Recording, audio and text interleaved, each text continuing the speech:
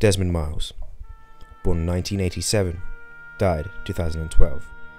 Now he was a member of the Assassin Order and a descendant of numerous family lines that have sworn an allegiance to the Assassins, including individuals such as Aquilus, Altair ibn Lahad, Ezio Auditore da Firenze, Edward Kenway, and Connor Kenway.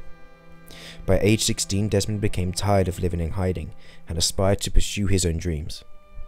Using the minimal training of assassin skills he had obtained from his father, William Miles, Desmond fled from the assassin compound he had grown up in and managed to travel from South Dakota to New York City, where he found employment as a bartender in the Bad Weather nightclub. In September 2012, Desmond was kidnapped and incarcerated by Abstergo Industries, a Templar organization, and forced him into a machine called the Animus. Now this was to relive the genetic memories of his ancestor, Altair ibn Lahad. It was Abstergo's aim to acquire a map that detailed many pieces of Eden spread across the earth, which Desmond was reluctantly successful in doing.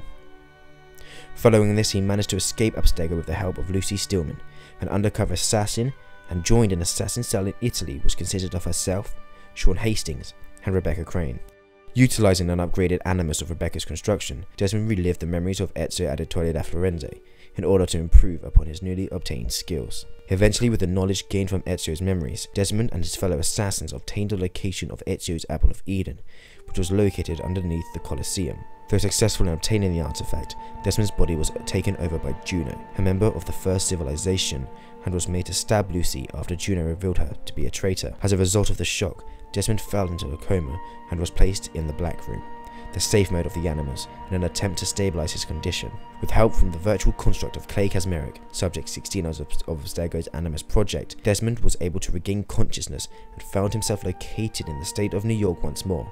This time, Rebecca, Sean, and his father, William. While in the Grand Temple, Desmond relived the memories of Haytham Kenway and Connor Kenway.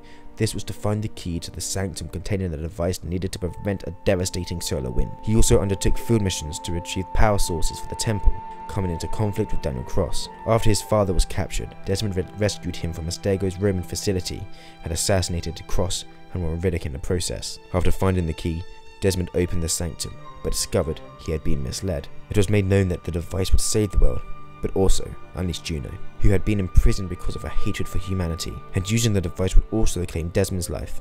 Regardless, Desmond chose to sacrifice himself for humanity's survival, while expressing faith that his fellow assassins would find a way to stop the new threat. As Desmond was trained during childhood as an assassin, he was proficient in basic reconnaissance skills such as eavesdropping and pickpocketing both of which he used in his first days at the Abstergo.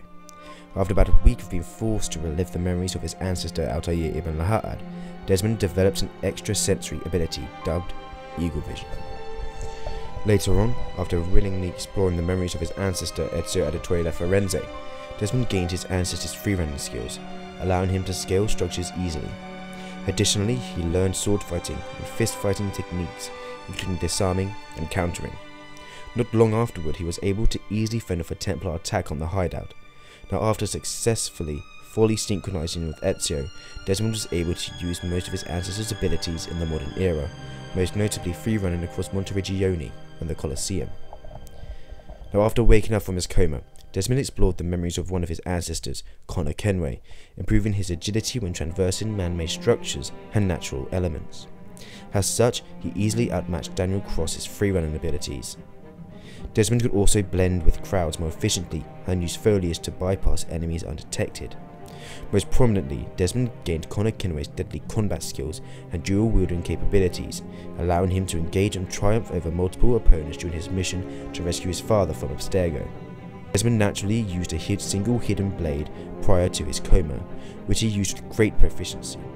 He was also capable of using a tactical baton in combat during the Templar attack on the hideout. After his coma, Desmond was now able to rely on his fists and legs alone, and was now wielding a Bowie knife and Daniel Cross's MK-23 pistol, which Desmond obtained after killing Cross. Desmond managed to use this pistol with great skill and force without ever losing. So guys, I hope you have enjoyed this video. If you have, remember to hit that like button down below. Subscribe for more Assassin's Creed history of videos. And guys, I want you to comment down below two things. What is your favourite thing about Desmond Miles throughout the Assassin's Creed series, and who would you like me to cover next? Thank you so much, and hope you guys have a nice day.